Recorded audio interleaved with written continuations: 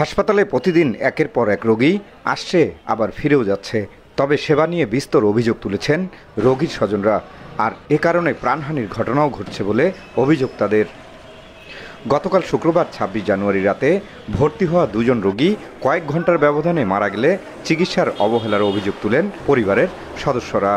জানা গেছে, ঠাকুরগাঁও জেনারেল হাসপাতালে ভর্তির পর কয়েক ঘণ্টার ব্যবধানে দুজন রোগীর মৃত্যু হয়েছে। এ ঘটনার পর হাসপাতাল কর্তৃপক্ষের বিরুদ্ধে চিকিৎসার অবহেলার কথা বলেন রোগীর স্বজনরা। তাদের এমন মৃত্যুতে মুহূর্তেই ভারী হয়ে ওঠে হাসপাতালের পরিবেশ।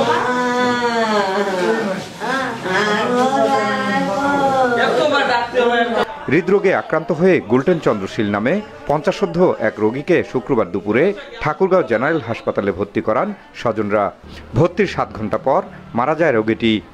অন্যদিকে নীলছড়ি নামে ষাটোদ্ধ এক নারী শ্বাসকষ্ট নিয়ে ওই দিন বিকেলে ভর্তি করলে চার ঘণ্টার ব্যবধানে তিনিও মারা যান। কয়েক ঘণ্টার ব্যবধানে দুজন রোগী মারা যাওয়ায় চিকিৎসার অবহেলার অভিযোগ তুলেন স্বজনরা। রোগী মারা যাওয়ার ঘটনা তদন্তে হাসপাতালে পুলিশ সদস্যরাও ছুটে আসেন সেখানে।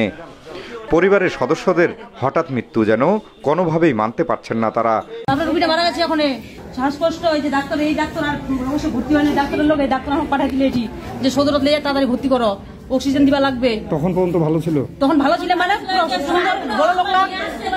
তখন ভালো গেছি সব ভালো কতক্ষণ ধরে হাঁটছে বসছে কথা বলছে সব কিছু করছে আবার নি- নিচতলায় এসিজি করবার লেগে কষ্ট করে নেয় এসিজি ডাক্তার নাই নাই নাই ফোনে জানছি করার জন্য কিন্তু এখন ওরা ওখানে জন্য খুব চেষ্টা করছি ইসিজি যায়নি নিচে পাঁচতলায় বলছে যে নিচের তলায় নিয়ে যান আবার বলছে পাঁচতলায় নিয়ে যান।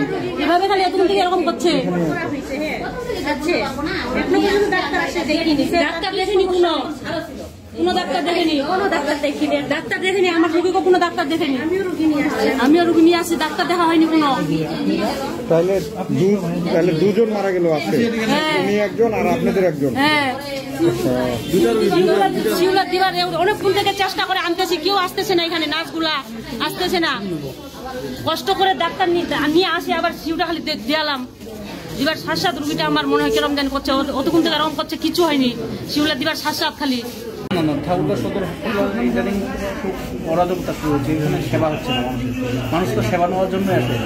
মানে সবারই তো প্রতিদিন টাকা নাই তো সেবা নেওয়ার জন্য এখানে আসি। ডাক্তার যদি আমাদেরকে না সেবা দেয়, তাহলে ওনারা এফার্ট করে দেবেন। আমি একটা বিশ মিনিটে আমার বাবাকে এখানে জরুরি বিভাগে ভর্তি করাইছি। শুধু নার্সদের সেবা পাইছি আমি। তাছাড়া কোনো সারাদিন আমি একটাতে একটা বিশ মিনিট থেকে যে আসি এখানে কোনো ডাক্তার ভিজিট করে নাই। কোনো রুগীকে আমি দেখি নাই, এক জায়গায় ভিজিট করল বা দেখল। কোনো অনিয়মিত একেবারে যে সেবার নামে ব্যবসা শুরু করে দিয়েছে এই জায়গায় ডাক্তারগুলা। আমি ওখানে গেলাম ওনাদের জরুরি বিভাগে। ওখানে বলতেছে যে, আমি যাচ্ছি। ওনার নামটা জিজ্ঞাসা উনি নামটা পর্যন্ত ওনার বলল না আমাকে। আমাকে বলতেছে যে আপনার নাম কি? আবার আবার আমার শুধু নার্সগুলা সেবা করতেছে। এক ভাই ছিল ওখানে উনি আবার বেশি ইয়া করে দিছে আমাকে। আমি দেখছি। তার কারণে কি হয়েছে? এখন কোনো সেবা পায়নি উনি ডাক্তারের একটা প্র্যাকটিক্যাল সেবা আছে। আমি যে এতদিন শুনে আসলাম পড়ে আসলাম যে ডাক্তার আসিবার পূর্বে রুগীটি মারা গেল আজকে এটা বাস্তব প্রমাণ হয়ে গেল আমার মুখের সামনে। তবে হাসপাতাল কর্তৃপক্ষের দাবি অবহেলা নয় স্বাভাবিক মৃত্যু হয়েছে। রোগীর স্বজনরা অভিযোগ করে বলেন হাসপাতালে দরিদ্ররা আসেন চিকিৎসা সেবা নিতে। অথচ চিকিৎসা না পেয়ে মারা যাচ্ছে রোগী যা কষ্টদায়ক। জেনারেল হাসপাতালের দায়িত্বরত চিকিৎসক ডাক্তার আলিউল জানান সেবায় কোনো গাফিলতি বা অবহেলা ছিল না স্বাভাবিক মৃত্যু হয়েছে। মানে এখানে যে অভিযোগ করছে যে রোগীর স্বজনরা অভিযোগ করছে থেকে রোগীকে শতভাগ চিকিৎসা তারপরে যে মারা গেছে এটা অবহেলা ছিল? না এটা। তাহলে রোগী কেমন ছিল পেশেন্টের সে মানে কেন মারা গেল? আর জেনারেল হাসপাতালের তত্ত্বাবধায়ক ডাক্তার ফিরোজ্জামান জুয়েল জানান লিখিত অভিযোগ পেলে অবহেলার বিষয়টি খতিয়ে দেখা হবে। কি হয়েছিল ওটা জানি না যদি এরকম কোনো লিখিত অভিযোগ দিলে আমি তদন্ত করে একদম খুব ভালো করে বলতে পারব। তবে ইনিশিয়ালি যেটা আমি জানি সেখানে অবহেলা হয়নি। মৃত ব্যক্তিরা হলেন পঞ্চগড় জেলার আটোয়ারি উপজেলার পাল্টাপাড়া ও ঠাকুরগাঁয়ের রানীশঙ্কল উপজেলার ধুলঝারি গ্রামের বাসিন্দা।